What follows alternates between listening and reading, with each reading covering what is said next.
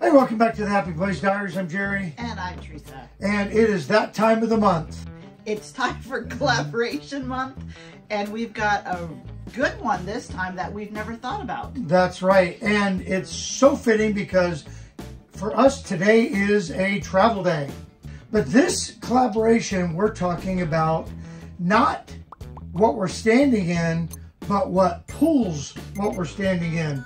We are talking about our tow vehicle setup. Yeah, and what we need to do to get ready to go and what we need to bring.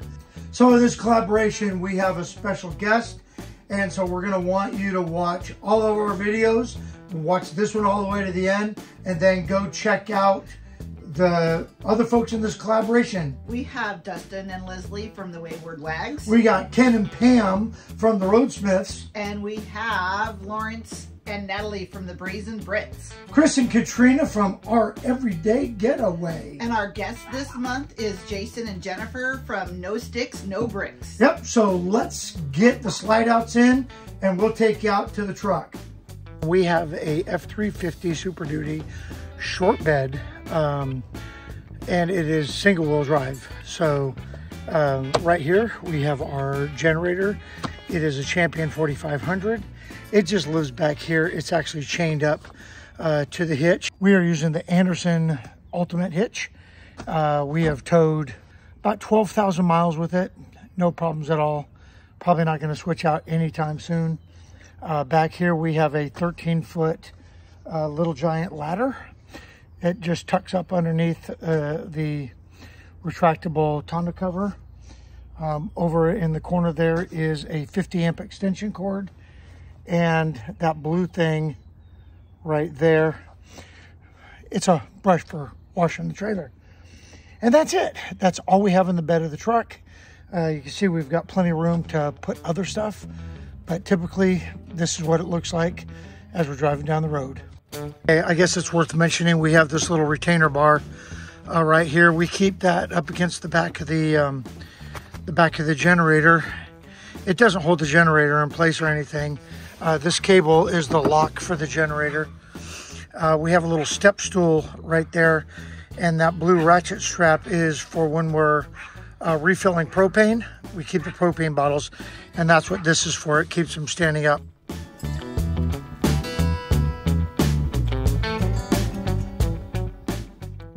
I got my bag with snacks.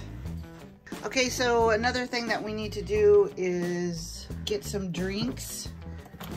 So we're gonna grab water for Mr. Jerry and then a couple sodas. We're only going for, it's only a two and a half hour trip, so we don't need that much to drink.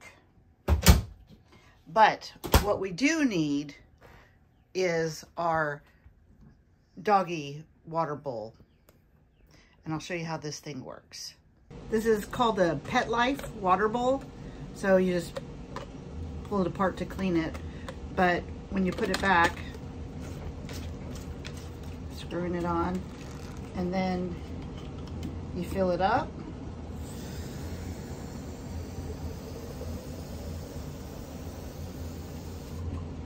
Secure the lid.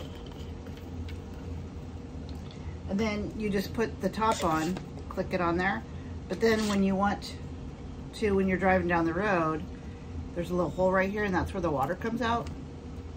And then it becomes a bowl so that they can drink in. And then when they're done drinking, you put the lid back on and it's good to go.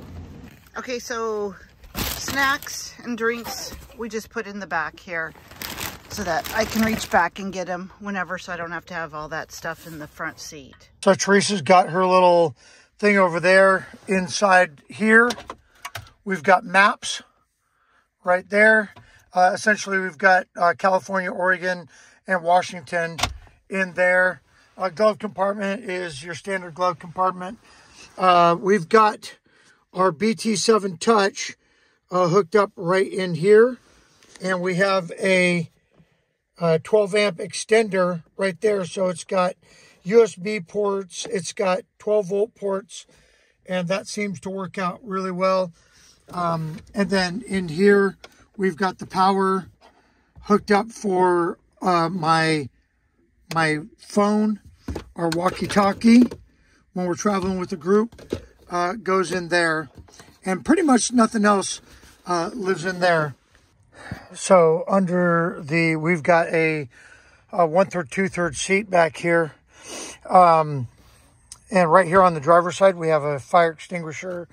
Um, this has little handy tools in it that we might need just on the road. Uh, this is uh, for ice and mud and whatnot, you know, just to get some traction. A windshield cover, and that is the jack stuff. We keep a couple straps.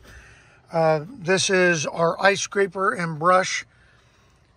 And then we have like a stadium blanket uh, right there. And then we keep this little pad here because it's a nice kneeling pad if you ever need it. Travel day, we have our bag of snacks. And then under there is a trauma kit. Uh, so it's got all the essentials in there to um, stop bleeding and that kind of stuff that we might uh, discover while we're out on the road. I'll show you the other side. So on this side, um, stadium blanket and uh, a lint roller just in case, because you never know. Um, we have more cargo straps right here. Uh, we've got some mountain money right there because you never know when you're going to need that. And uh, it looks like my grandson left us a little frog in there. Um, yeah, so that's pretty much it. Behind the seat here, we have some good old-fashioned old school atlases. Um, this one's a trucker atlas, and then this is just a smaller one. Uh, Teresa's the navigator, so she'll pull those out uh, when they're needed. And that's pretty much the back of the truck.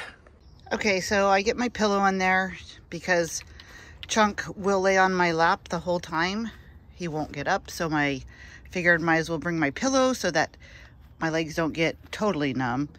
And then I just put the dog water bowl dish right there so I can reach down and get it when it's time for them to get something to drink. And I bring my iPad because my husband never talks, so I have to play games. Okay, so up here in Command Central, um, everything is pretty much laid out to where I have good field of vision. Uh, in the truck, we've got our TPMS right here. We've got our rear facing camera that's on the back of the trailer, which is why it's showing no signal because we're not hooked up. And then we use our Apple Maps um, coming off of our phone. Uh, we found that that seems to be one of the most accurate GPSs that, that we've used. We had one of the Garmin uh, 770 RVs and um, we prefer this one. So we're all set to go uh, on our trip today.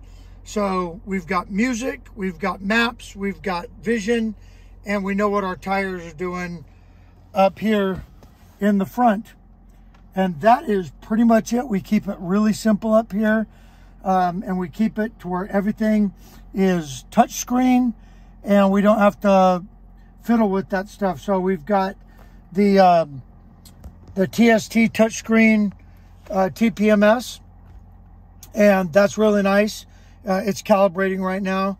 Um, we've got the Halo View BT7 Touch, and so that's a touchscreen also, so we don't have to work through menus and whatnot.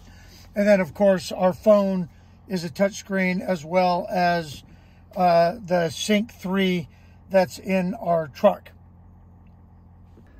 Okay, well, that's it. Uh, we appreciate you sticking around all the way to the end to see how we set up our uh, F-350 uh, to tow our amazing Montana.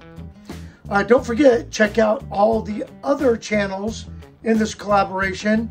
And just as a reminder, that is uh, the Wayward Waggs, Dustin and Leslie. Brazen Brits, Natalie and Lawrence. And Ken and Pam from the Roadsmiths. And Chris and Katrina from Our Everyday Getaway. And Jason and Jennifer from No Sticks, No Bricks. Yep, our special guest for this month.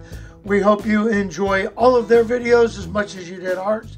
and we'll see you in the next one. Have a great day. See ya.